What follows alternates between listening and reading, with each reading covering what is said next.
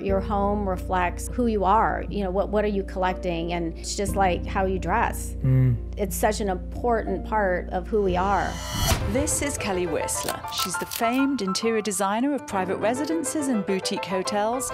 We were doing three hotels at one time, and I was burning the midnight oil, and then you lose a team because they're burnt out. Saying no is just as important to saying yes. I think that's great life advice and design advice. Before we jump into this episode, I'd like to invite you to join this community to hear more interviews that will help you become happier, healthier, and more healed. All I want you to do is click on the subscribe button. I love your support. It's incredible to see all your comments, and we're just getting started. I can't wait to go on this journey with you. Thank you so much for subscribing. It means the world to me. The best selling author and host, the number one health and wellness podcast, On Purpose with Jay Shetty. Kelly, I'm really happy to be with you because I've had so many special offline interactions with you, and I've always loved them because you always have this really bright, really light energy about you. and, you know, we'll bump into each other in one of the beautiful hotel projects you've worked on, or we bumped into each other at uh, mutual friends' homes, or you've been here too. And I've just always appreciated just how thoughtful that you are, how reflective you are. And I've been really looking forward to this. So thank you so much for doing it, honestly. Oh, thank you, Jay. Well, I'm so honored to be here and be one of your guests and sitting here with you. Super excited. Okay, well, let's dive in. The question I want to start with you is Can design make you happy? Yes, absolutely. And, you know, one of the most beautiful parts of my jobs is making people happy which is like i mean you can't i can't believe i get paid for what i do because it's making people happy and inspiring people and uh, you know there's nothing better than designing a hotel and going in time and time again and seeing people laughing and having fun and listening to music and seeing them time and time again you know whether they're there as a leisure traveler or a business traveler and knowing that's their place that's a local venue for them just makes me feel so good. Yeah, I've been to two of your projects, the one in Austin, uh, the proper hotel there, and the one downtown in LA, and they are just spectacular. And you're so right. Like, I remember when I walked in last year, we were going to watch F1. And so I'd come into the Austin and I bumped into you and you were listening to the podcast. You showed it to yes, me, which was, was, which was amazing. I loved it. And then I just looked at this one place behind the steps and you have all these most beautiful collected like pots and vases and like they're just they're so simply and beautifully kept on this like this kind of step. I'm I'm I've no. Oh, you have such a good memory. Yeah, I I have a picture of on my phone. Like I'm like it's it's stunning, and it's so interesting to me because I think I underestimate growing up just how much spaces and aesthetics affect our mind. And today, as someone who wants to live an intentional, mindful life, I find that design and interiors and aesthetics play such a big part in the mood we experience and how we feel throughout the day.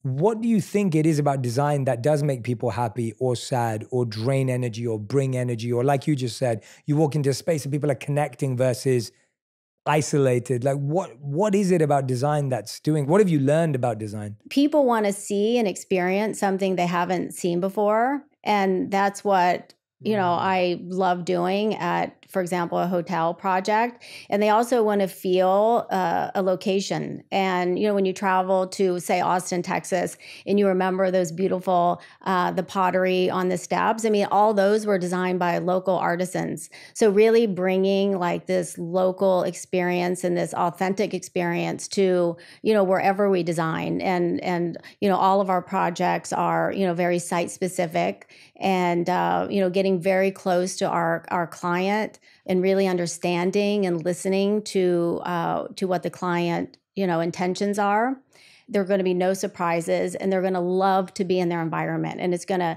in turn make them happy and uh, and inspire them. And we all want to live a better life and we all want to look better in our clothing and it's the same thing at home. You know we want to surround ourselves with things that are familiar and make us happy. Yeah i've got a lot of friends in my life right now who are trying to redecorate or redesign their homes, which can be such a challenging thing to do. You obviously worked on some private homes, obviously you work on hotels and so many other spaces, but if someone's listening right now and they're thinking, Kelly, like, you know, the book looks stunning, like uh, they've seen your pictures on Instagram, they're like, wow, that living room looks spectacular. But they're thinking, you know what, maybe I don't have access to a designer. Maybe I, I don't have access to you, Kelly, like, but I do now through the podcast.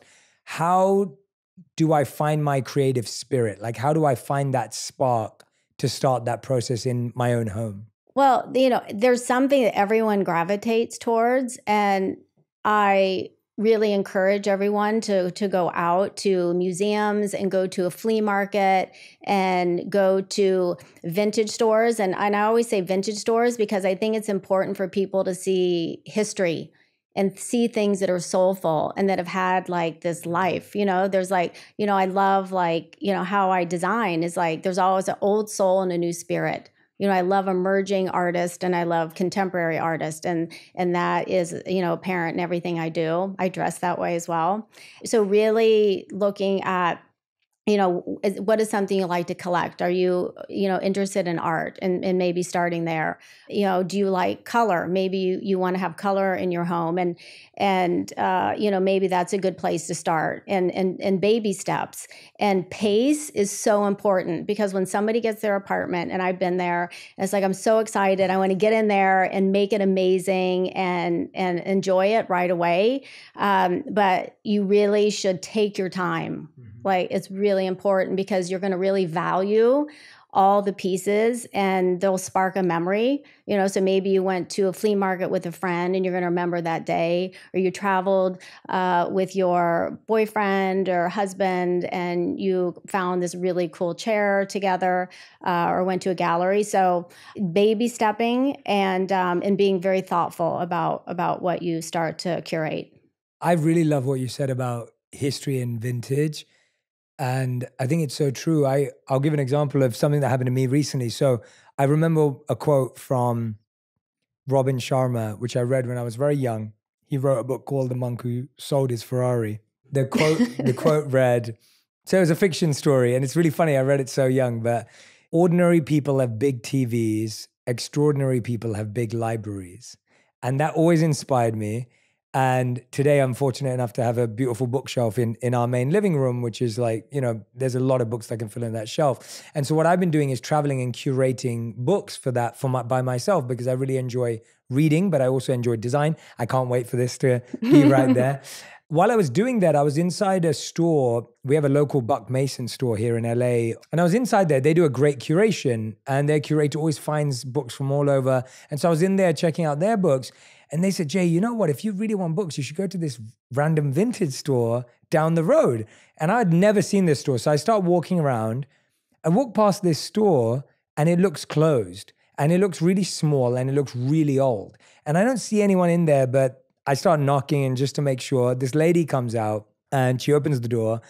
And I say, Hey, I heard you have vintage books here. I'd love to see them. And she goes, Oh yeah, she binds books. You could see all these like old binding materials for like these, you know, massive book covers and all of the old machinery and tools and processes you would need. And she said, "Well, I don't really sell books, but we have all these books here." And she said, "I'll tell you, you know, she told me a story. She was like, when I got divorced from my husband who used to own loads of bookstores, I got half the books. So she goes, I just have thousands and thousands of books. Some of them are here, most of them are at home. I said, Well, I'd love to look through them. So I started looking through these books and I was discovering like early editions of really special books. And I was, you know, starting to make a list and I got a whole pile out. And she, she was really like, she didn't care. She was like, you can take them for free. And I was like, no, no, no, I'd love to pay for them. Like, you know, this is such a gift. And so I, so I paid them whatever she asked me to pay for them. And then there was one book and she said, I've been looking for this book for years. And she goes, I couldn't find it because it was like all these crease pages and hidden away. And she said, Do you mind if I don't sell this to you? Can I keep it? and I said, Of course. I was like, It's your book. If you can, keep, it was, I really wanted it. It was called, I'd never read it, but it was a little book that was called like The Hidden Temple. And I was like, Oh, that sounds so cool. Like, especially with my background. But anyway, she kept that one. I know, then, I know yeah. that um, that shop. You know which yeah, because she yeah, because she does bookbinding. Yes. and there's very few companies that do that still. And you know, the like, I love going to a bookstore and just getting lost in the aisles and just randomly just pulling books out of something that I know nothing about and there's a the Strand bookstore in New York. Love that and bookstore. it's amazing bookstore. And there's so few now. There's a few downtown that are so good, but I agree. Like going and and just digging around and exploring and discovery, and and really, it's all about having an open heart Mhm. and being open to all the possibilities, and you know, enlightening yourself. I think one of the challenges that makes it hard to do what we're both agreeing on is that we're so used to now seeing the same thing. Like if you're on Instagram and you're following these channels, everyone's posting the same, Same kind of thing, yeah. interiors, the same kind of rug with the same kind of table, which there's nothing wrong with that. That's how things get mainstream and and bigger and scaled. How do you challenge yourself to stay curious and try and discover new things? Like how what do you do? What are the practical steps that you take to be open-minded, I guess? I'm constantly, you know, in search of something new that I'm fa- going to fall in love with. And I know if I go uh, to a gallery and I'm so moved, and I might see three new materials come together in this unbelievable creation and something I've never seen before, and my heart stops. It's like seeing, you know, that cute guy, and you're just like, oh my God, like, like you're just so moved and it's so inspirational to me and it's that feeling of falling in love and you want to keep falling in love and continue to discover and there uh, you know there's so many new technologies and you know i'm inspired by pulp culture and uh AI, which is like such a huge disruptor in in the you know world of digital everything. It's like a major earthquake happening right now. Also, all of our clients are also different, and they come you know they're from all over the world, and all the architecture is different, and the landscape, the view from the window is different. So everything truly is one of a kind. So I'm just always searching, like you know. I have my bar is like super high and I just want to keep doing better and striving, you know, to be a better designer. And I mm-hmm. kind of live that way. I want to, you know, be, uh, you know, the best mom I can be, the best, you know, wife I can be, and and and you know, leader at my studio for my team. You know, just being inspired and sharing, you know, my love, and uh, you know, continuing to make people happy. if there's people watching and listening right now and they're like kelly i just have bad taste like they're like you know i just i just don't you know i can't i don't know what matches like i try but it doesn't look right like if if the people feel like that like have you i'm sure you've worked with places people homes hotels where you kind of see that creative slump what is it that you say to someone who's struggling goes i just have bad taste i can't think about this like how would you encourage them to think about that Well, nobody should bet with all of the visuals in our world, with magazines and social media and everything. Like there's so much inspiration out there. So it's really just having an open heart and and being aware and and finding your passion and what you love and what moves you. Like what excites me is seeing something that i haven't seen before. And you can't find that unless you go out and seek it out. Like even you might find somebody's like oh my god i love the way they dress or i went to this home and it was so incredible and inspirational. And it happens to me all the time. I'll go to to um to a party and it's like how they set the bar. And it's like wow like i haven't seen that and that's really cool and i'm going to put it in my bag of tricks for the next time i have you know and i'm inspired and i love it i take photos of everything that's Yeah. like my journal like i take photos of everything and every month i always go back and and look at you know what has inspired me and um, you know I, I share it i like to share it with you know my team and um, and social media and just see you know how my eye wanders and and what excites me Yeah, I think you're spot on. When I was on my tour this year, I took so many pictures around the world of stores, arts, fabrics, textures, details. Like there were so many things that I was like, wow, I would never have thought about that together. Or and there's a pattern like that's where Yes. you'll discover like your style like would you jay if i said what is your style what what would you say oh, my the way I dress or the way I uh, design, like my just home. inherently because they go like how somebody dresses yeah. And before you answer that question, like I always, I have clients who'll say, you know what? Like I really, I'm not sure exactly what I like. And I'm like, listen, we're going to go in your closet and we're going to see like what you gravitate towards. Is it all neutral? Like, do you like pattern? Do you like little bits of color? Is it modern? Is it more minimalist? Mm-hmm. And like the answer is there. Yeah, absolutely. I'd, I'd say that my overall style is I try and wear something that's a more, or not wear, I try everything to have more of a untraditional silhouette or something that's hopefully a bit thoughtful. I like my spaces to be very calm and very approachable. And I think about everything like a sanctuary. So I think about the energy that it has even more than the item. And I think when I'm, especially putting my spaces together, I'm like, okay, well, what, how do I want to feel when I walk into this room? And, you know, even when we had a tiny apartment back in New York, which we lived in like this 600 square foot apartment, every corner of our apartment was thought about in that way. Like, what can we put in this corner to make it feel special? Or like, how do we differentiate between the bedroom and the bathroom when it's like in the same space, right? Like, what do you do, whether it's a scent, whether it's something you see? I even think about like, what's the first thing I see in the morning and what's the last thing I see at night?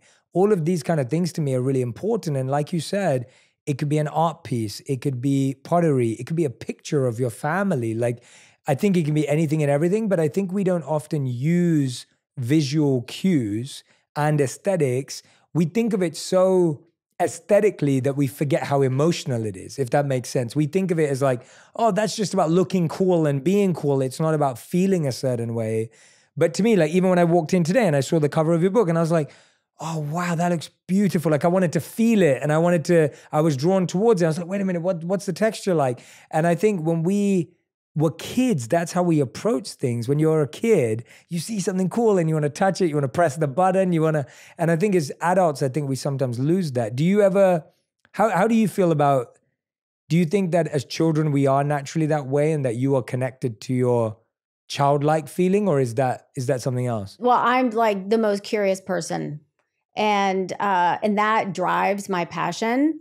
And you know, I'm just I want to know how something's made. I want to know, you know, and I love going to artist studios and seeing how how they operate. I love going into a creative's home and just see how how they organize. Curiosity is such a big driver, and I just love the imagination you know, and it started when I was like really little. I had, um, when I was about seven years old, we would go visit my grandparents and our, you know, cousins and everyone. And I would make these little uh, designs. Like I would take like an, an egg carton and do something interesting, you know, with it. And I would make little cards for the family to buy and, you know, blank cards with a drawing on it. And then uh, I would pack everything up and I would take it and put it on my grandparents' table and put little price tags. I was in business. I wanted to make money because my mom was always taking my sister and I to the flea market. And that's where I really started educating my eye. Going to the flea market and not having any money is not fun. So I'm like, I'm just going to like start making money myself.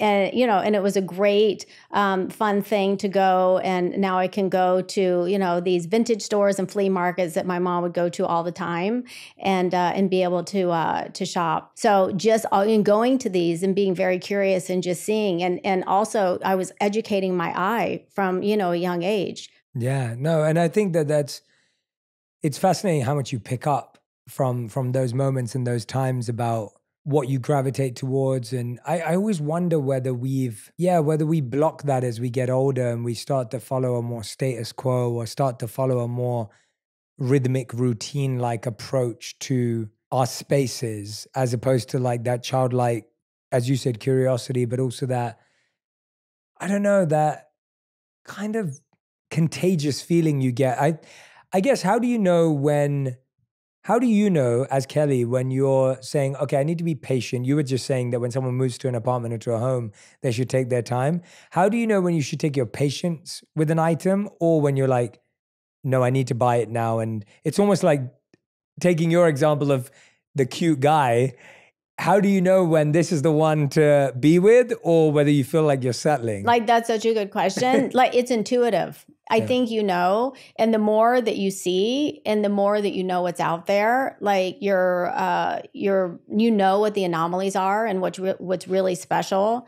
But it is, it's an intuitive feeling, and working with with clients. And you know these projects that we work on can take 2 years you know 5 years. And so really taking our time to find things that are meaningful and that the clients truly are are going to you know they're going to live with these pieces. And and it it makes them feel good also when you when you're working and, and, buying things for your house you should have like a hierarchy. Everything can't be super expensive. So that's where if you want to buy something new and you want to you know have a really amazing comfortable sofa versus you know piece of art is knowing where, where to, to spend the money. Like a sofa you're going to have you know probably for a shorter time where you'll have a piece of art and you invest in it it brings a, a memory and it's so personal that you can take it with you in your next uh, your next next home. So you just encouraged everyone to spend more money on the art than yeah. the sofa, than the comfy sofa that you sit on every day. Yeah, you can know because it's just it's like you know it's furniture, and it's so it's so true what you said about how just with social media and everything is there's so much sameness out there. And so you you know your your home reflects you know who you are. Your home you know reflects who you are. You know what what are you collecting? And and you know it's just like how you dress. Mm, and mm. it's such an important part of of who we are Mm-hmm. And don't you look like when you do Zoom meetings? Are you checking out what's behind them? Always, always. I know, and it says a lot about yes, yes. about the person. Yes, absolutely. and I'm looking at all this amazing things behind you, and like, is all of this? Are these all personal choices? Yeah. So we what we tried to do so my biggest goal for this space obviously this space is just so everyone everyone who's listening and watching you know that we're in my podcast studio and this room is only used to record the podcast and so our goal was I wanted it to feel intimate because a lot of production sets have like 30 people on them. And I find conversations like this to be much more intimate and close. And like, this is how I would sit with a friend. So that was a key yeah. need. The second thing was, I didn't want it to be packed with too many other people because I think that removes the intimacy. The choice of art was all to evoke emotion. So I chose that piece there with the heart because to me, I want to only have heart-based conversations here. That's that's what on purpose is all about, where we reveal our hearts to each other, me included, and even our audience and community is opening up their hearts to the yeah. ideas and topics. I genuinely put eyes there through that art to because I think eye contact is such a beautiful way of being present and being still and being focused with someone. And again, these are I'm giving these subliminal, not messaging, but the deeper meaning behind why these things there. This is an African shield, and we had that there because I wanted people to reminded to put their guard down. It was almost like hanging hanging your shield up, the the thing that blocks you. And then there were and they're all pieces by uh, people of color. So all the art in here were by people of color, and this was to remind of the highest good, which is of serving and offering and uh, which is such a big part of the philosophy that I followed and studied. You know, one and, question that yeah. I had is because you obviously were working in finance and in London, and you uh, went, you became a monk. How has like material things and design and and fashion you look amazing uh, and super so stylish and like how has that changed for you it's so it's such a good question. I'm so glad you asked me that, honestly, because I think that I was always interested in fashion and design before I became a monk. So I was always intrigued by graphic design. I loved collage. Art and design was one of my favorite subjects at school, and I did really well at it. And I've talked about my art teacher often, who I credit so much with my intentional thinking. So let's say we're doing a collage and we're doing mixed design, I would put something together and I think it would look amazing. And, and my friends would think it would look great. And my teacher would look at it and say, Why did you do that? And if I didn't have a good enough answer, I didn't get a good grade. And so he was training me to always ask why. He was like, Why would you put those two things together? What's your reason? And I started to realize that the intention was so important, the intuitive design of putting things together. It wasn't just about the form, it was about the substance. And so I would I loved that from before I became a monk. I even wanted to I had the dream of becoming a graphic designer or art director when I grew up and put magazines together. That was always kind of what I enjoyed. And obviously I left that all when I became a monk and, and moved away from it. And the monastery was always very minimalist, right? There was no it's not that there was no design and I think that's always important to remember like if you've ever seen an altar an altar is highly designed, whether it's deities of God, whether it's uh, forms of sages or gurus. If you ever walk into a temple atmosphere, it's very decorative. Very yeah. decorative. And some of the temples that I visited in India had like the most ornate carvings around them telling stories and histories and pastimes of incredible epics. And you'd see a you'd see that the design that was above the place where you stand when you're in front of the altar had specific markings on the ceiling. Like there's so much intentionality even about a temple and how they were designed. And so I think I appreciated all those things. Although in the temple it was very minimalist. It wasn't, you know, it was it was it wasn't I guess material in that sense. But I think for me now I've just allowed all my passions to infuse and I really do believe that designing your home, designing what you wear, or choosing and selecting it carefully allows you to feel different. And so to me, design and mindfulness, or fashion and mindfulness, or how you dress is probably a better word than even fashion, but how you dress and mindfulness and how you design your home and mindfulness are completely synchronized uh, and they can't be separated because I feel different when I wear something different. I can express myself differently when I dress differently. I can sit with you and we can create an atmosphere, hopefully, in this room for you and our guests that allows you to be comfortable and open and that allows you to feel safe. And so, hopefully, that answers your question. I don't know if it does, but no, it does. Like, yeah. It's great. And it is, it's a lifestyle. It's like how you dress and how you, uh, how you design your home and and two how you operate mm-hmm. your your lifestyle whether it's wellness to what you eat you know the whole thing goes hand in hand i think one thing about your work though kelly that i like and it kind of reflects on the question you asked me is you know one of the things i often struggle with is because i lived as a monk and now don't at all and i'm married of course and we have businesses and companies and everything else i've given myself permission to be all of the complexities of who i am and I love meditating, but I also love media. I also love sharing messages. I also love management and strategy. And I've just allowed all of myself to coexist. And I feel that allowing myself to do that has allowed me to be happier with who I am. And when I look at your work, and i will let you comment on that in a second on me, but when I look at your work, I see that same juxtaposition of things that people would often say, well, that doesn't work or that wouldn't make sense. And if you walked it through theoretically, most people would argue, I think, with your designs that they wouldn't make sense because I think you put things together that seem so alien and challenging and random that people would say, yeah, that doesn't make any sense. Now you've found a way to make it cohesive and make it work.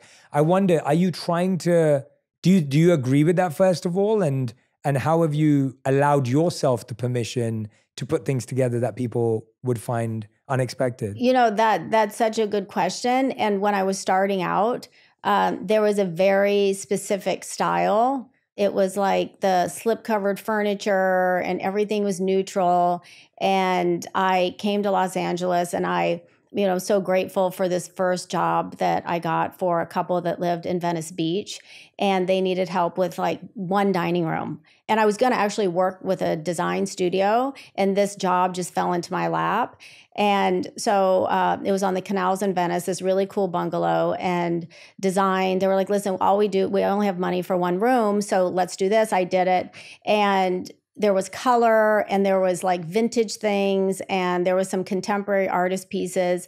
And the room like looked you know incredible. They didn't quite understand it and they were like well it doesn't feel like maybe what i'm seeing. And so you know i had to really like talk them through it. And this is you know before you know now you're doing like renderings for you know your clients to really understand you know there was a lot of communication. You know i took them to the flea market with me you know and we really made these decisions together. They were a little apprehensive but it turned out great. I ended up doing the whole entire house and then somebody saw that. And so yeah it was it was a little scary and and still now there are clients that are maybe we'll do a presentation. They'll say you know i like part of it but maybe this part i don't like. And if i truly believe i'll take the time and and kind of show them the way and my thought process and uh, maybe give them you know a few more visuals. So the team and i will work on that. You know but if it doesn't if they're not 100% dialed in and excited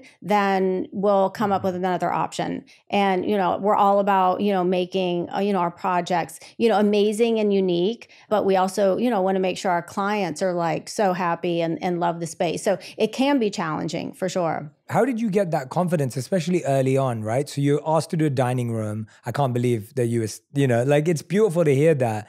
That today, when you're designing multiple hotels, and that it started with just designing a dining room, and I think that's so inspiring for so many people listening and watching who either want to follow in your career path or do something creative that they can think, "Wow, that that's where it can start." How did you have the confidence at that point to walk them through it and say, "Hey, even if you don't get it." This makes sense. What gave it to you at that point? Or did you feel at that point, did you feel a bit nervous when they said, hey, we're not, you know, we don't get it? Or, or did you always have that confidence about your work? No, I was nervous. Okay. Oh, yeah. 100%. Like I was like, oh my God, am I making the right decision? Like I felt like in my heart it was the right decision. So I really wanted to not convince them but have them like understand like where i was coming from. And and they they uh, had faith in me and we went for it and it looked amazing. And you know you st- we still have those those clients. But yeah it was a nervous uh, nerve-wracking um, experience. And we still now will do a presentation like the team and i will work on something for weeks and it's like a really big concept presentation. And there will still sometimes be like this just doesn't feel right because mm-hmm. our audience maybe whether it's for a hotel and it's a group of people they might not they might not have seen it before mm. and and i strive for that i want to do something that is unique and site specific and and so they might not see it before so they get a little a little timid mm. so again it's being um, you know really communicating and letting the client know what what uh, you know is in our mind's eye. Tell us about some of the communication skills that takes because i think when people think of creative careers we think of them as purely artistic. But actually you're dealing with someone's intimate homes or a hotel space which again is people are coming there to rest or relax or connect or take a break. So they're very important spaces for us and therefore people are quite opinionated about them. How what have you learned about communicating more effectively with people especially when things are so personal? Because i think that's a unique skill set that people wouldn't understand that you've had you'd have to have but you you obviously have to because you're talking to people about things that they have very clear thoughts about and specific choices for. With confidence. Like presenting it like you have to believe it and having confidence is everything. The visuals are so important. And so I like to communicate with the visuals because I can talk for an hour and and the client might still not understand like the direction so having the visuals is everything mm-hmm. and the confidence confidence is so is everything for you you know like we just talked about your career started from like humble beginnings and I wonder what is what was the hardest thing about getting started? What was the most difficult thing on this journey to get to where you are today? What was the thing that scared you the most, the thing that you struggled with the most? Like I'm I'm a really hard worker and I I know what I like.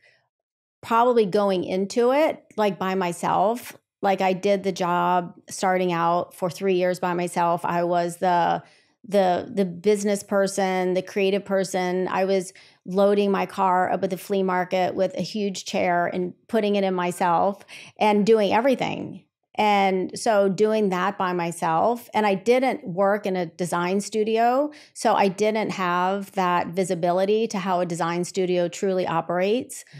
So really figuring out the contracts, the budgets and how to present that. I did it, you know, on my own and I asked a lot of questions. And there were some great contractors and people that I was working with and collaborating with on these projects and I just asked, you know, a million questions.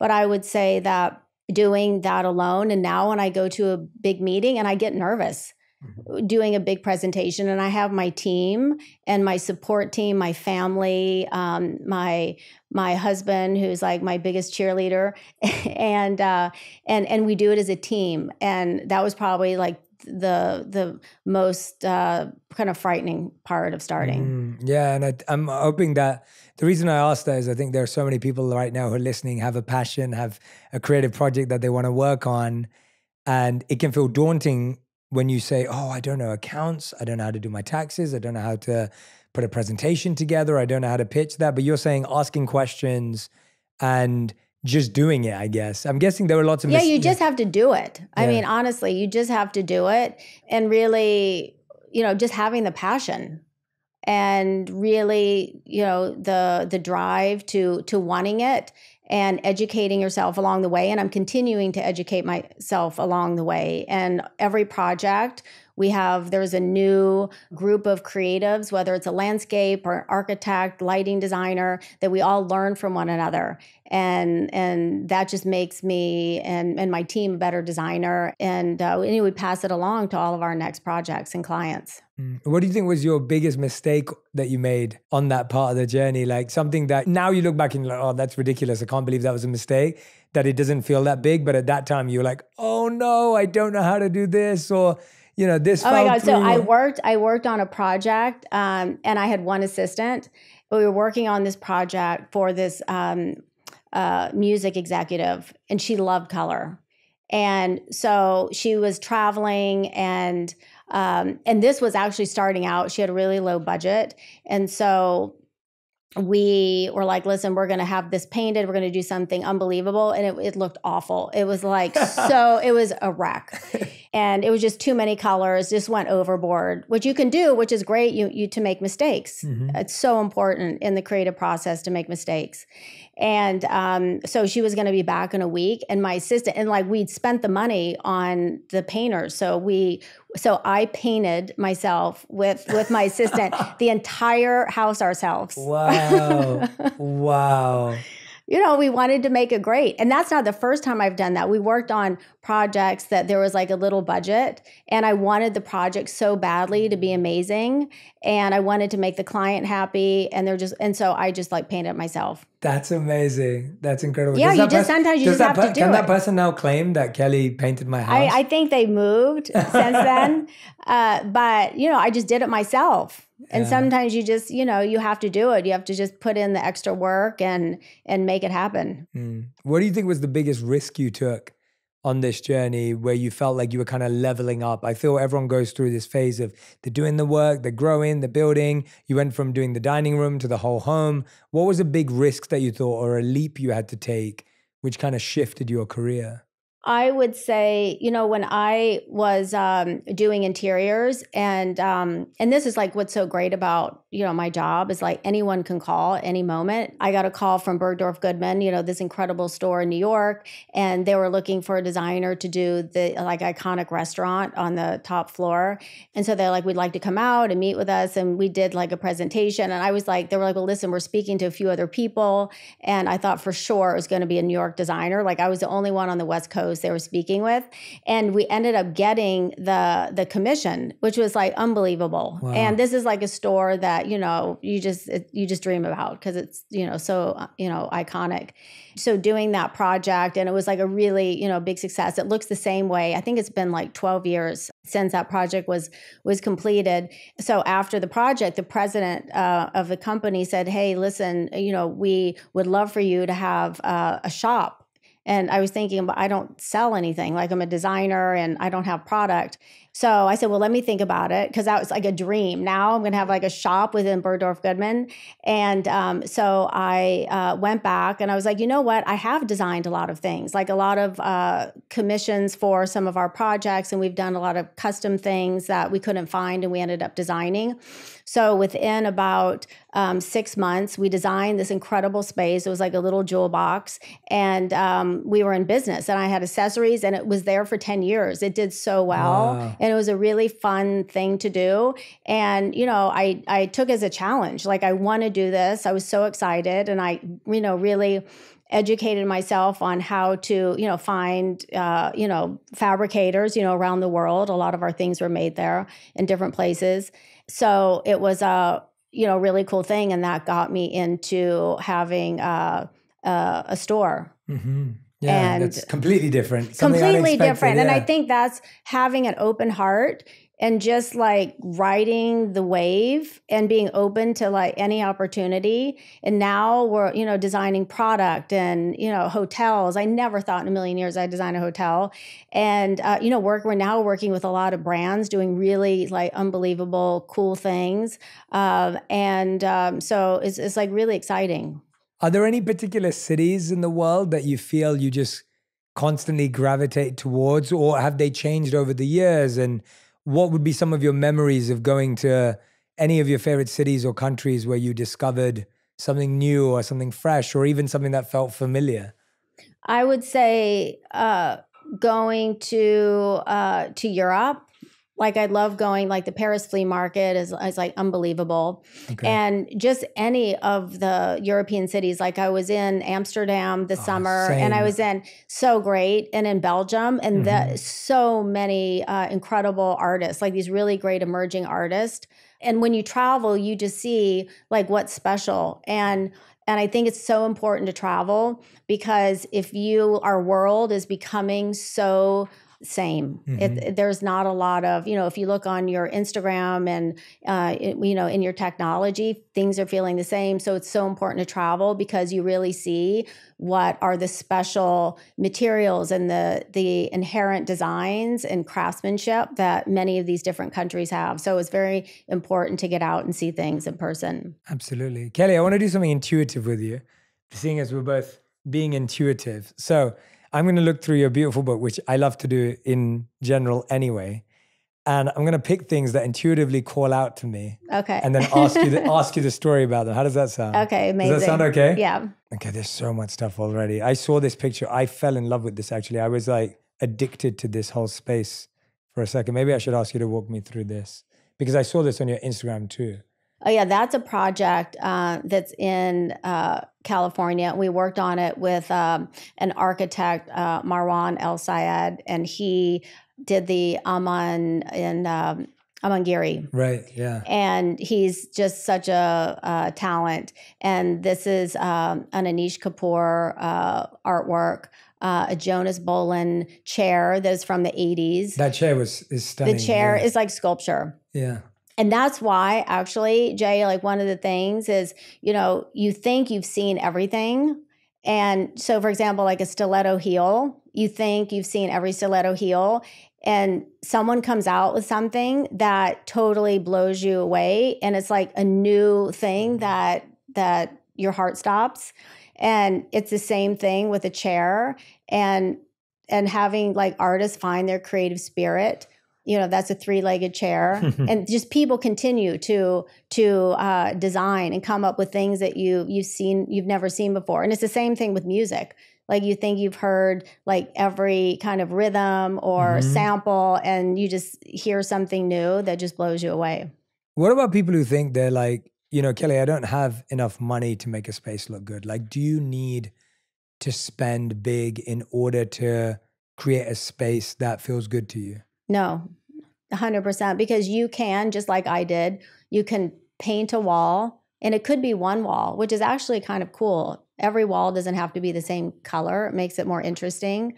And just have one amazing chair that you love and one light we need light uh, light fixture and and a table and like let it sit for a while Mm. and and really just um, that showcases your style.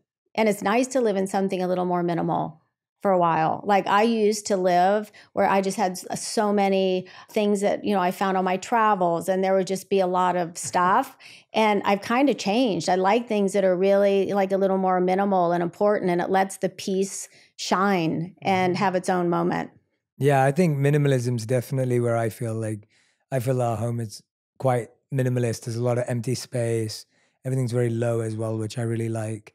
I know. I love like low, yeah. like some of these like beds and furniture. I mean, you need like a stool to to step on. They're so they're Yeah, so yeah, tall, and it's and it's the same. Everything's getting big. Yes. Everything, like Yeah. literally, we were design designing tabletop, and you know we plates like you know they're so much bigger now. It's like everything. Mm-hmm. yeah. And so why I love really low beds because I think you feel like really low to the ground. And it also makes a small bedroom like feel more expansive Mhm. because it doesn't cut the room in half. So That's a a bed, good. That's a good note. yeah, a bed that's like 12 inches in height. And it's so nice. I mean, it's very, you know, it's how like in, ja- in Japan, everything's like really low and it doesn't get in the way of windows and it makes your space feel so much more expansive. These are very good practical tips. I think everyone, everyone's, everyone's going to be getting low beds because of that. this space is spectacular. I don't think I've seen this in real life actually, with all the tiles and everything. Oh yeah, that is uh,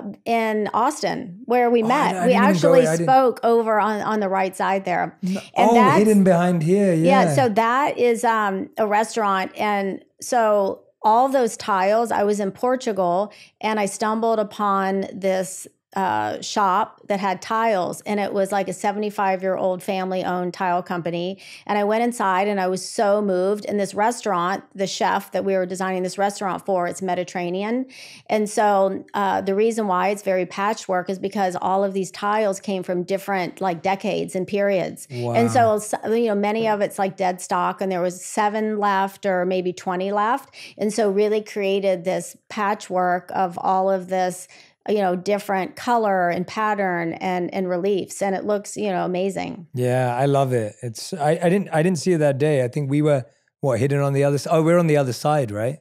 Or through there. I'm trying to figure that out. Yeah, Where and it's we- also like making do with what you have or what you've seen. Like I could easily gone in this tile store and seen one tile that I absolutely loved and Mm-hmm. like, okay, let's just do the entire wall in that. but, you know, having something that that, you know, okay, how can we make this work and make it really interesting and um kind of just you know, letting your creative juices flow. I think that's what's so beautiful about it is that when we're present and when we're when we observe, I find that, and I don't know how I started doing it with furniture and things like that, but I feel like when you re- I think it's just mindfulness training, but when you get really present with like looking at even the direction of like the grain lines, you know, on a piece of uh, wood, or whether it's looking at like how it's cut or connected, or you know, and I don't have any of the vocabulary of an interior designer at all or the language or have any skills in this space i can appreciate something that that looks beautiful and so as i'm looking through this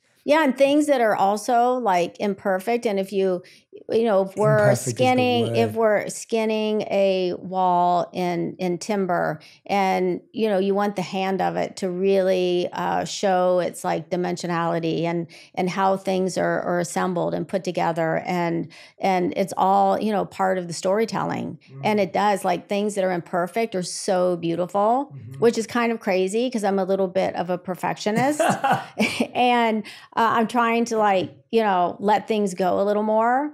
Like sometimes, like I literally will go to like one of the hotels and I will see the furniture that's out of place, and people are like, "Oh God, there's Kelly!" Like she's like moving like the furniture. I'll tell, I can tell if things are like two inches off. I mean, I like to keep things like super tight, yes but sometimes you just have to like let it go. no i'm with you my my wife and i get into this all the time i will rearrange our dining chairs around the table every night just because Oh my I God, like I I totally am that person. Yeah. I my wife's like, what are you doing? I'm like, no, these are just too close. And I can't appreciate this space because of this. I, I'm totally like that. So I get that. And I told my boys, I'm like, listen, I see everything. Like, you'll never like pull anything over on me. Yeah, I see everything. I love it. This piece I saw, uh, I loved it from the moment I saw it. I mean, it looks spectacular. It's Yeah, so this is uh, in the hotel that's in downtown, and it's a pool suite because the the building is a historic building, and uh, it used to, in one of its lives, be a YMCA. And so, Mm. in order to get the historic tax credits, uh, you have to keep a lot of the programming there. So there was a pool, and it's quite it's like a 30, 40 foot pool, and so it's a three bedroom suite, and it has its own Wow. kitchen. So you know you can stay in this you know really incredible i mean this is an experience that you'll really rarely get and that's what we like to do is like you know, give people an experience and something that they can take an incredible memory home with them. Wow. I mean, there's I could stop at every page. So I'm I'm really trying to be intuitive, as I said. Oh, yeah, and you have to go to the Santa Monica proper. Yes, I've been there before. Oh, you've been there. No. I've been you've there. been It's there. beautiful. No, I've been there. I've had uh I've been to, I've been there for birthdays and events and yeah, that that space is spectacular. Downstairs, upstairs, I've been on the rooftop as well. It's a it's a really beautiful space. I love the use of like plants and nature. Like to me these kind of spaces, of course, these kind of spaces are really special with like this kind of composition, but that feels similar to the first one I showed you, I think. But when people are trying to do plants in their home, how, how should they think about it? Because I feel like that's something that people try hard and, and struggle with. Keeping them alive is one thing, but what about in terms of placement? You know, like that is where I, Look that, having yeah. something that if you have a really ama- uh, incredible, yeah. that's that's so great. Well, Mhm. we are so fortunate to work with some amazing talents, Mm-hmm. and but I actually love going to the nurseries and seeking out these Mm-hmm. unbelievable specimens that have that are imperfect and that.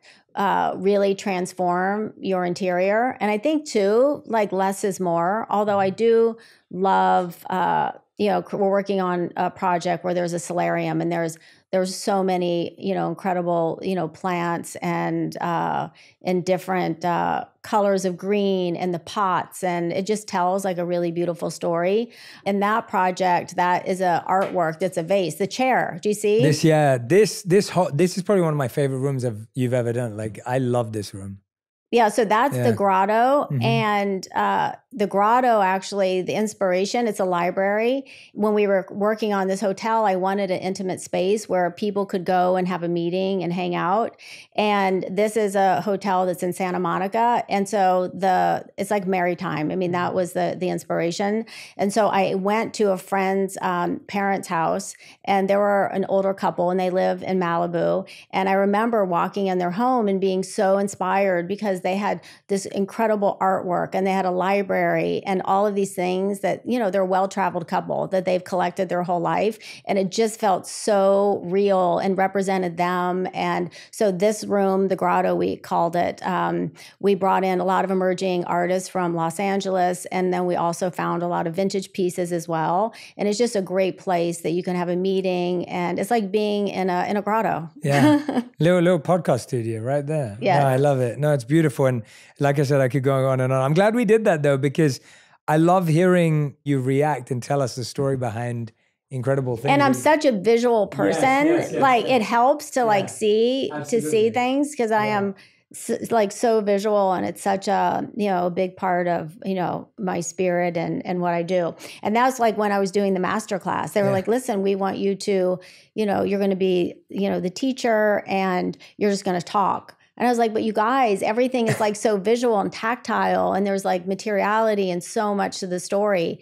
And so um, we uh, went outside the box and went on some uh, site visits, which yeah, was so fun. Yeah, absolutely. Oh, oh yeah, you actually went out with the we went course. out, yeah. That's incredible. Yeah, we went out to um, and toured, and and I think then people can apply. And I think if somebody is not like really skilled at design, like they also need to see things as well, hmm so that helps them, you know, to apply it to you know what they're trying to do. Absolutely, and people can actually learn from you directly from the masterclass. So that's that's a great way of giving people the tools. If you're inspired from today, then hopefully the masterclass will help you piece together all these amazing lessons that Kelly's sharing. Kelly, you didn't. You've said before, or I've learned before, that you didn't always plan on being a mom, or like you didn't think about it as your natural course. But it's something that, of course, I've even met some of your children, I believe, as well. So, yes, yeah, yes, yeah. So my like growing up, you know, my my mom worked, my grandmothers both worked, and so having you know the white picket fence was not you know in my in my mind i wanted to work and i really loved design you know from when i was doing my bunny shop when i was seven years old and really discovering my passion in high school and just like you i love graphic design and that's kind of where it all started from is going to the flea markets with my mom and seeing all the magazines and mm-hmm. So I really wanted to to work and be, uh, you know, have a career. And then I met my incredible husband Brad, and a family was important to him. And I was like, okay, uh, I got to think about it. You know, I, I have an open heart. Like I'm in love with, you know, I'm in love with my husband, and so I said, let's do. We'll have one. We got engaged, and um, and I got pregnant. That was the most transformational like moment in in my life. My family is everything and kids are like the most like incredible layer to life and i love what i do. Like absolutely love what i do but it's like there's nothing like it. Oh. and it's like just everything and um yeah it's the most beautiful thing. My my kids are my heroes. They teach me like so much about life and you know um and i just had a baby and you know so many people are like oh well you have two older kids and like you know what would you do differently? Like reflecting and is spend the most amount of time with your kids now because it goes by so fast. Mm. yeah. Where how's that how's that been with also of course your ambition and you're working on so many projects like you've been able to it sounds like be so present with your kids and not have to give up your passion. And i think that that's such an important thing that we also need to see as well, because I think in that advice of people thinking, God, I need to spend every time, we kind of let go of the things that you value. How have you, and I don't like the word balance because I don't think that's necessarily what I'm asking. It's almost like, how do you keep passion and presence alive, present with your family, but then your passion, which kind of keeps you alive? How do you keep both alive? It can be a struggle. And what I do is when I'm at work, I am so present with my team and and I go to my studio. Like I love going to my studio. I'm like in the thick of it with them every day, but I make time for my for my kids and obviously there are things that that you miss out on and you know, it's all about prioritizing mm. and having a, a, routine and, and schedule and yes like reflecting you know with with oliver and elliot when they were younger and this is before there was like zoom meeting and working from home and all that is i missed things i was traveling and you know it it it broke my heart mm. but i was also happy. I was happy that i was being fulfilled as a designer and i was living my dream and i am living my dream and and they see that and and makes me an incredible mom because i get to teach them things. Mm-hmm. but yeah it's definitely you know can be can be tough. What is the difference between creativity and replication? And is replication the thief of creativity it's it's such an interesting question and for me creativity comes within. It's your soul and it's your stylistic voice and replication is looking outward. So, what maybe inspires you to uh, design a certain way? Um, and, you know, for example, replication can inform creativity. And if we're designing a front desk of a hotel and the functionality works so well, we're going to incorporate that, but then we're going to give it a new spirit by skinning it with another material. So that's where the replication comes into play. Uh, but creativity truly comes from within and it's an artist or a designer or chefs it's like it's their creative uh, their creative voice mm. when when you were on the journey towards this successful career you have now were there moments of experiencing burnout where it's like, okay, I'm taking this project on. Okay, well, I've got another project, but oh no, they want me to do the whole house. And oh my gosh, now I've got another one. And I feel like a lot of creators today, especially online, feel a lot of burnout because they feel like they have to keep up with their own success. They may have had an overnight moment which led to more work, which is exciting but equally challenging. Even during the pandemic, there were so many companies that went through their biggest scaling, but also led to people having to work harder and longer. So, how have you thought about burnout? Saying no is just as important uh, to saying yes. And there are projects that I really wanted to take, but it just would have just over inundated and stressed the studio. And so, timing is everything. And I know there's going to be other projects that will be on the horizon, but you want to do a great job. I'm personally so involved in every aspect of my business. I'm in my studio every day, providing the creative leadership to the team. I'm involved in the business. I'm involved in so many, every aspect of the studio, and so you really have to uh, kind of pick and choose like the right time. Yeah. How do you trust that the next project will come? I think that's so brave and thoughtful that you're like, look, I want to do a great job. I'm only going to take these few projects. I get it. I have to say no, even though I'm so in love with this, but I trust that the right projects will come. How did you kind of build that sense of trust? Because I think a lot of us fear that, oh no, maybe I'll never get an opportunity again if I miss this one. So, how did you have that more open mindset that, yes, I trust? Well, because it came from the mistake of taking on at one point i took on a lot of work and i just remember just oh my god i cannot wait for these projects. It was we were doing three hotels at one time and some residential projects and so of course i'm like well we're just going to hire more people but you have to be so in tune with your team and when you have a lot of new team, it takes like a year or so for them to really get in sync with what's going on in the studio, how it operates, what's the the the philosophies and so making the mistake of taking on too much. And i remember it was a really like you know stressful time and i was burning the midnight oil and uh, you know and the team was. And and then you lose a team because they're burnt out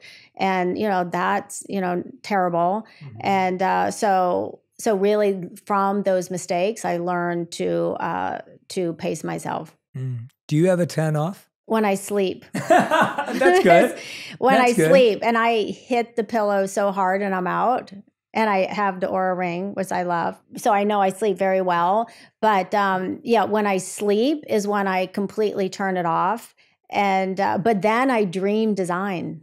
I really, I dream design. It's amazing. And I'll wake up and I'm like, oh my God, I wish I had turned the corner to see like what was next. Or so, um, but sleep and I go a million miles a minute and I love it. I would not have it any other way. I love, I'm not like a great person with a lot of free time. I love being busy. I mean, tell us about some of your dreams. Do you, have you ever invented, created, curated in your dreams and taken something out of it? Or? A hundred percent. Like there was um like the staircase actually in Austin. I love that staircase. Like that was like kind of a moment of something that that I dreamed about and and the pottery. And it's kind of like not something you would traditionally see, like a really big staircase in a new, you know, contemporary architecture. And um, so that was something that uh, that I dreamed about. And like the other night I was having a dream that I was in a house and there was like this really amazing light fixture that had all of these um, um, like uh, strings of some sort with these small little uh, lights, and it was like really, it was like very artistic. Like it's in my mind's eye, and we'll see where it comes up in in the mm-hmm. design. But yes, I I do dream design. I love that. That's that's wonderful to hear because yeah, it just shows how obsessed you are and how immersed you are in the world that it's it's even happening in your dreams. And that staircase, it's so it's so amazing though, and I love that it's dream well, to design. Also, it's being visual because yeah. I see so right. many images like all day. Because when we're doing concept presentations, like we're constantly curating images to help uh, present our story and the concept to to the client. And so I just have like this library of like images constantly going through my head. So I know that obviously is the inspiration for my brain. Mm-hmm. Yeah, and I love the dream to design because when I'm reacting to that staircase, people are like, Jay, it's a staircase, relax. But it really does spark so much joy. Like I look at it and I go, wow, like, you know, and so it's amazing how design from your dream can actually spark moments of awe, which are so nice to experience when you're just walking around doing your daily tasks, you know? So special. I, I want to ask you a question, Kelly, around artists valuing their work, or even creatives or coaches or experts or whatever it may be. I think so many of us, and I get this question a lot Jay, I don't feel confident enough to charge what I think I'm worth. Like people forget the amount of time they trained, people forget the amount of time they worked. It becomes really hard to come up with an hourly rate or a project rate or a piece of art, right? I have, I have friends who are artists who are constantly like not knowing how to charge, how did you make sense of how you wanted to price yourself and how do you encourage people to figure out how they price themselves? What things could they think about in order to do that? Well, it all has to do with if you if you really want to be involved in the project. For example, we just had this happen. Like there's a really amazing project um, that's in Asia that you know I'd love to be part of, and our fee was too high. And I know I'm going to be very involved, but I really want to take the project. And so the client came back and was like, "How can we make this work?" So I think it's like communication, and uh, you know, and really. Uh, you know both parties valuing each other's worth. And uh, so i think just being in really you know great communication and we'll have uh, you know some emerging artists that i know are struggling and they're just getting started and we want to bring them on to a project as for a commission. And um, you know we'll figure out ways like can we internally help them get to a place where it's not going to be as time consuming? So i think there's really many different ways that communication is key. How did you go about creating your first pricing structure because I feel like when someone's starting out as a creative, as a designer, as an artist, they can struggle so much with their self worth and what their value is, but they don't want to miss out on the client. And so, how would you encourage someone to think about pricing themselves and how did you do it? I really wanted the job like my first project i really wanted a job and as i said i didn't work for a design studio so i didn't know really how how to charge. And so I asked them, I said, What do you feel comfortable paying me to do this project? And they told me, and I was like, wow. and and so I came back to them with something I found, you know, thought was fair, and we met in the middle.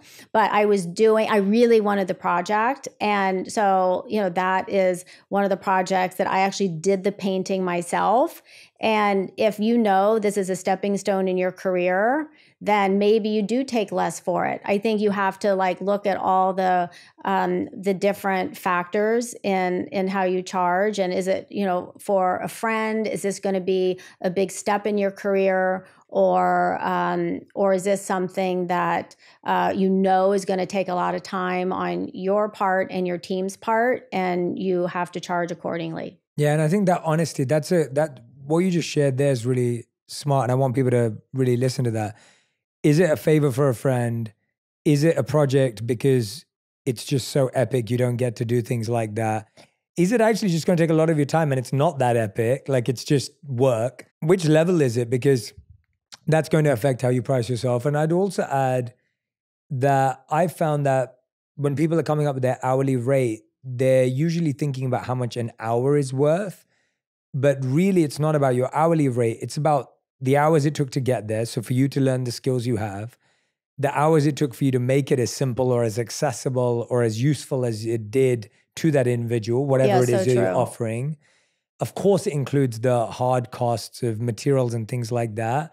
But really, you're charging for how much someone values that time or effort or work.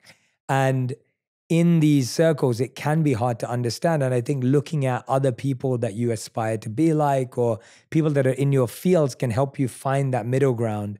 But again, I love what you said about figuring out where it ranks in the order of yeah and most clients and uh, are like reasonable and if you if you really lay out like it's going to take me this amount of hours or it's going to take a year to get this done and it's like this you know uh, this much a, a, of a team and and also the skill set because mm-hmm. if you're if you're going to bring someone on you know that they have an incredible skill set they're going to save you time but they're also going to save you money at the end because a mistake is is money. Mm-hmm. and so is it worth to pay someone up front who knows exactly what they're doing and how to operate Absolutely. That was great. Kelly, it's been such a joy talking to you today. And I'm glad that we've, this has been a very unique episode. We've been reacting to beautiful pictures in your book. I've loved hearing about your stories as well of just, you know, the steps that it's taken to build this phenomenal career that you're having.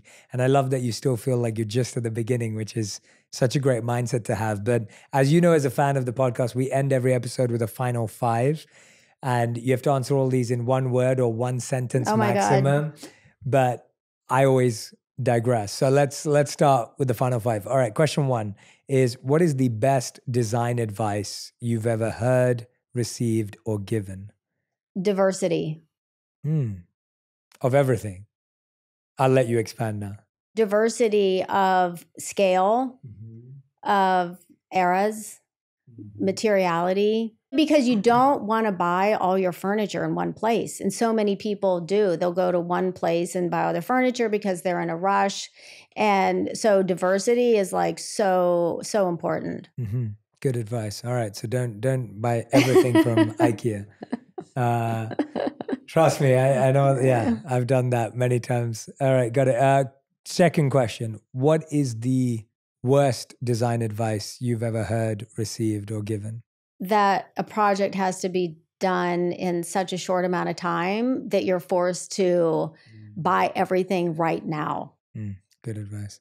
because you want to to curate everything over time so it's meaningful I I made that mistake earlier this year, and we didn't. Luckily, I didn't go through with it, but. With the house was finished, and I wanted to do art, and that's the thing you should least rush. But Yeah. there was so much a part of me that was like, I'm just tired of looking at blank walls, and I want to feel inspired in this space. And I like, I was quickly looking at collections and everything. Luckily, my wife is the so I'm a very decisive, quick person, and my wife is like really slow and will never make a decision if she doesn't have to. And so we balance each other out really well because I'll be like, yeah, I think this will fit there, and she'll be like, no, I don't think so, and then we'll sit with it. And I think this idea of sitting with things is such a great.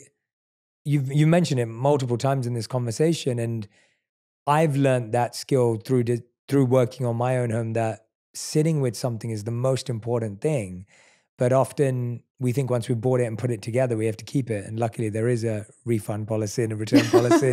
you can give things back, and I think it's it's interesting. The idea of sitting with something is something we struggle to do. We think once we bought it, we have to keep it, or we didn't buy it.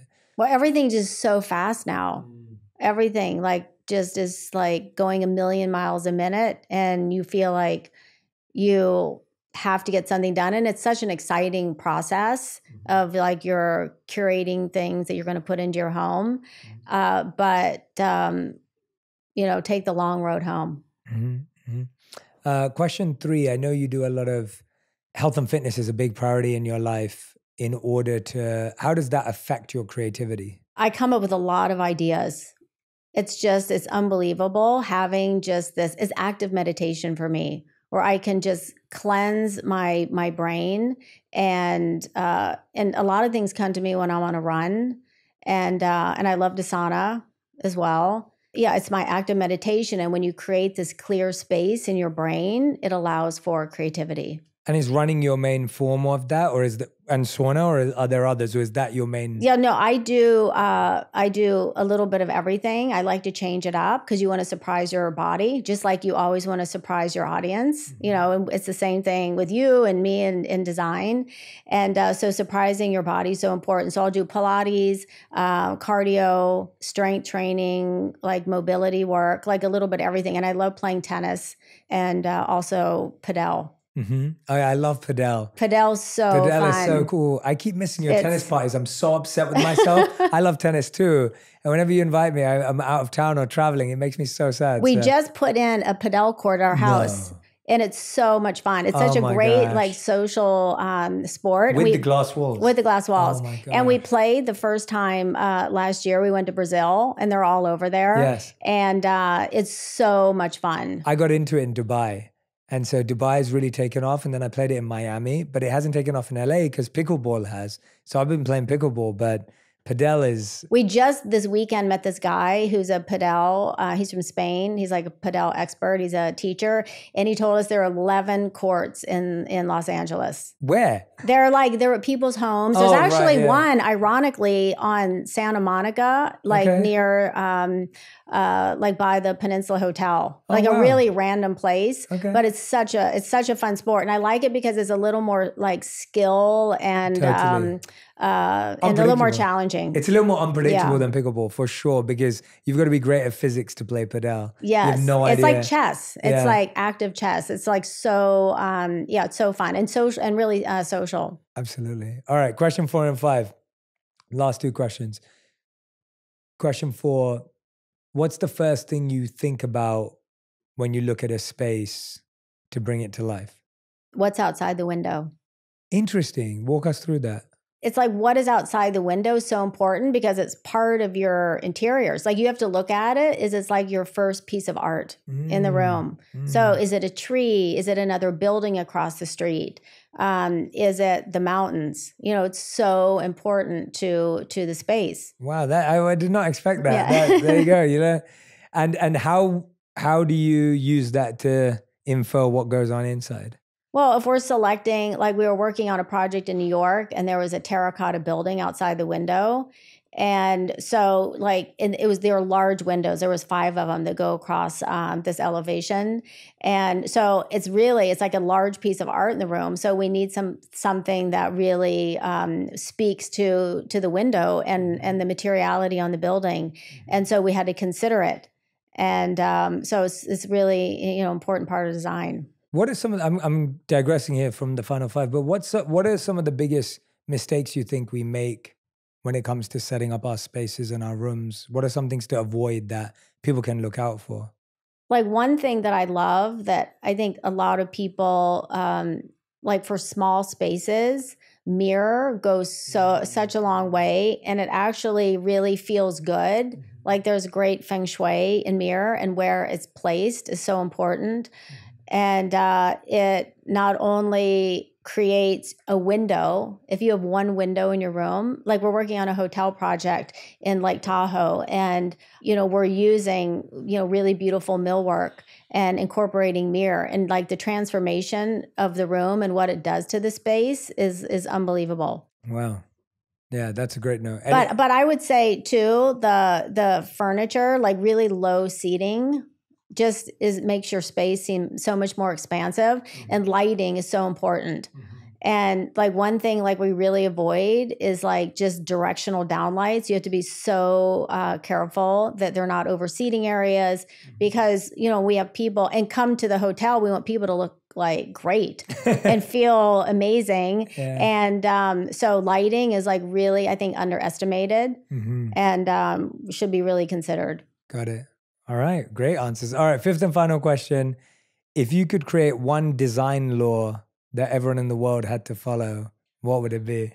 Really understand what your style is. Mm, and frequent museums and galleries and go out and see what things say to you because you're going to discover something that you didn't know was Yeah. inside you that's going to make your interior represent who you are. I think that's great life advice and design advice. It's it's knowing who you are and and and allowing enough input. I definitely found that when when we moved from London to New York and then from New York to LA, it was just I just got exposed to so much more than I'd ever been exposed to, and that exposure is what also helped define and edit who you were and who you wanted to be. So, And you're constantly changing. Mhm, like mhm. the more you see like i look at projects i did 20 years ago and they're they're great and but they're different than how i would approach things Yes. now just taking your time is like so important Mhm. and i go my a million miles a minute and i get excited about things and i want things to happen now and but really it's like taking your time like pace is everything Mhm. Well, Kelly, thank you for your time today. And thank you for being so present and gracious and kind. And thank you for being so trusting of me. I've loved having this conversation with you. And I hope that everyone who's been listening or watching has found some inspiration, some spark, some creativity to help enliven and, and uh, bring to life their spaces because I, I really do believe design can make you happy. I really do believe that design and aesthetics in our spaces can define how we feel and how we move and the emotions that we go through. And so, thank and you so design much. too jay is that something else about design Please. that we're speaking that is is very more aesthetic but it also makes our lives easier hmm and that's something that continues to get better and better and which is going to give us more time and so not only the aesthetic of design but also the functionality which is really you know critical Give us an example of that because that's a great, great point, and we didn't talk about that. Tell, tell, tell us a bit more about how we can think about our spaces functionally in order to make them easier as well. What have you found, or what little tips have worked for you for that? Well, in our studio, we're actually uh, working with AI And after, uh, like during the holidays and you know the fall when OpenAI uh, announced the the you know generative uh, intelligence and and what it can do. Uh, I just listened to a lot of podcasts and read up on it, and I was like, I'm going to implement this in my studio in some way. And obviously, you can't go full force into it. So I in each department I uh, have like a director, and we're using it uh, every day and it's been like really profound and really inspirational. And it's not designing um, spaces for us but it is actually generating ideas that we can implement into a project and something that maybe we never thought of. And you know and i tell the team i'm like listen this is like you have like a junior designer by your side mm. that can help implement. And i'm super bullish on ai and what it's doing for my business is is unbelievable and we're only like at the surface and soon we're not going to have just a junior designer everyone's going to have a senior designer working for them and it's not going to take away what we do because you got to have somebody driving the ship but it's um it's fascinating and love it. Yeah no i love hearing you embrace that because i think so many people get scared like oh no like people can just design their rooms by ai but i think when you're confident and conscious of what you're doing what do you think what parts do you think it's going to help replace and help solve versus what parts do you think you're like well wait a minute my brain will always be able to you know do this part uh, it's it's just generating like idea generation, but also like Photoshop and how